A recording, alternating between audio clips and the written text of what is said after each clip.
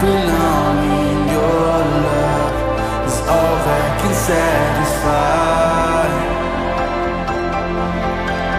can satisfy.